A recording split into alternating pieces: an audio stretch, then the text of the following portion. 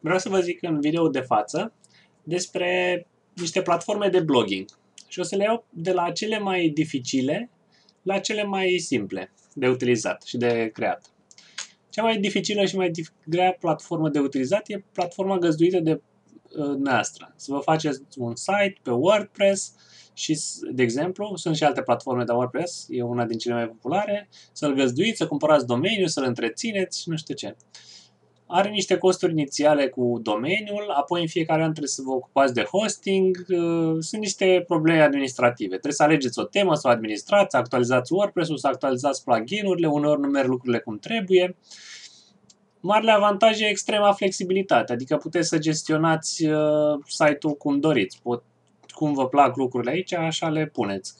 Deci aveți libertate absolut totală. Dar are niște costuri și niște eforturi. Vă ajută. Uh, e platforma pe care vă recomand pe termen lung, dar dacă sunteți încă la început, puteți să luați în considerare alte variante. Și o să vorbim de următoarele. Mai simplu de instalat este un site pe Blogspot. Vă faceți cont pe Blogspot, dacă aveți un Gmail, puteți folosi pe un cont pe Gmail, puteți folosi pe acela uh, și vă faceți un blog pe Blogspot. Are marele avantaj că nu mai aveți nicio problemă cu găzduirea. Puteți, dacă vreți, să aveți și propriul domeniu. De, de exemplu, aici s-ar putea avea și blog de medic.ro sau ceva similar. Și aveți o flexibilitate destul de mare fără să vă bateți prea mult capul cu site. Adică puneți odată tema și după aceea nu mai e mare lucru de gestionat. Din păcate, flexibilitatea nu este chiar de mare pe cât ar trebui și funcția de comentarii nu este atât de simplă. Trebuie să te loghezi, să-ți alegi niște conturi, nu e așa de simplu să comentezi. Nu, nu sunt uh, foarte împăcat cu cum arată comentariile pe Blogspot. Uh, altfel, site-ul este destul de ok. Uh, nu, platforma, de site-ul Blogspot este destul de ok, dar pentru cineva care este la început. Pe termen lung v-aș sugera să treceți la WordPress. Tot pe WordPress, dar pe găzduit la WordPress.com puteți să vă faceți un site. Aici nu aveți probleme cu domeniu, deși puteți avea și ceva gen așa sau un alt domeniu. Uh, nu aveți probleme cu domeniul, nu aveți probleme cu hosting-ul, în schimb aveți destul de multe limitări. Nu puteți pune foarte multe lucruri pe el și nu puteți gestiona foarte mult. Dar vă alegeți o temă care vă place și aveți un blog pe Blogspot, pe WordPress. Deci asta ar fi varianta cea mai dificilă și pe care v-aș recomanda pe termen lung, iar acestea niște variante de început. Aveți și opțiunea, dintre cele două eu prefer site-urile pe wordpress.com, pentru că e mai ușor să le trec ulterior pe domeniul propriu și datorită comentariilor care nu îmi plac foarte mult pe Blogspot, din cauza nu datorită. Am citit un articol pe Lifehacker, o să fie în descrierea clipului și în articolul de pe GetD și articolul spune că au apărut nou, sunt mai nou, nu au apărut, sunt mai nou niște platforme de uh, blogging care e, sunt diferite în sensul că sunt te îndeamnă să scrii. Deci începi foarte rapid să scrii. Și aici ei discută despre cât de utilă este fiecare dintre ele. Și recunosc și ei la sfârșit că WordPress e una din platformele care îți oferă controlul total și atunci trebuie să-ți alegi lucrurile. Uitați-vă pe articol pentru lămuriri.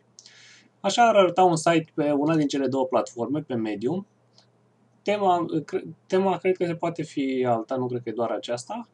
Însă, în principiu, sunt destul de simplu. Uitați, are destul de simplu. Are doar un editor de text și e simpluț. Sunt câteva lucruri pe care le puteți vedea. Și la fel aici. Sunt doar câteva... Curba de învățare e foarte rapidă. Te întreabă doar câteva lucruri, îți arată doar câteva chestiuni. Asta este medium pe platformă de blogging te îndeamnă direct să intri.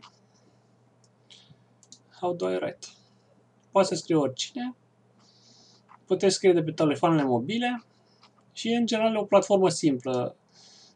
E făcută să fie folosită rapid. Deci să, vă fie, să intrați rapid. Hai să căutăm un video cu un uh, mediu. O să vă dau uh, o să vă dau niște clipuri, o să, vă, o să caut niște clipuri și o să vă arăt niște clipuri cu cum se folosește. Similar este SAT. Uh, iarăși e o platformă și, ea, și arată relativ similar. Uh, ideea e că la ele sunt, ele sunt chiar mai simplu de folosit decât WordPress.com și Blogspot.com și sunt mai noi și sunt na, mai moderne. Doar text și poze, foarte rapid, la scurt, la obiect. Cred că merg și video înserate. Oricum e, e mult mai rapid și mai simplu de introdus, de deschis un text. Um, puteți exporta, mă interesa mult, mai, puteți exporta articolele, deci și de pe Subtle și de pe uh, Medium și odată ce ați făcut asta, puteți ulterior să treceți la hosting pe domeniu propriu, cum vă recomand. Cam asta ar fi. Uh, dacă ar fi să încep acum un blog, m-aș gândi foarte serios să încep pe Subtle sau pe Medium să scriu 50 articole, să mă lămuresc ce și cum, să văd cum scriu, să văd cum intră în pielea mea, să mă simt bine cu el și dacă îmi place, după aceea aș lua în considerare să trec aici. Chiar aș, v-aș recomanda să evitați să treceți întâi prin Blogspot sau WordPress și să încercați direct una din Subtle sau Medium. Mi se par mai interesante. O să vă dau niște videouri cu cum se folosesc. Succes!